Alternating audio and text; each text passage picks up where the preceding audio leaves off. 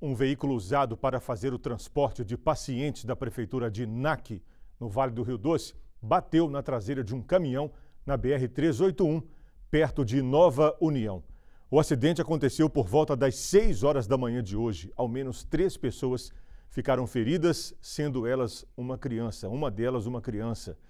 Até um helicóptero do Corpo de Bombeiros foi acionado para essa ocorrência. O repórter Miguel Braz tem outros detalhes para a gente. Miguel.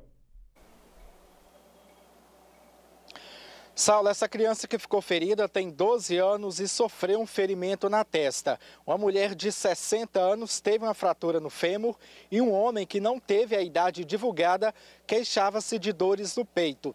Todos eles foram socorridos por uma aeronave do Corpo de Bombeiros e encaminhados ao Hospital João 23, em Belo Horizonte.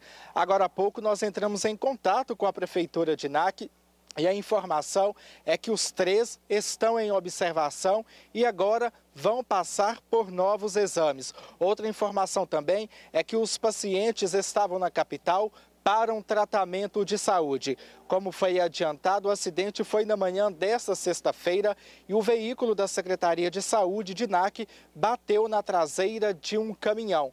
Por causa do acidente, parte da frente do veículo ficou destruída. O trânsito ficou um pouco complicado também. Agora a Polícia Rodoviária Federal vai apurar as causas do acidente, Saulo.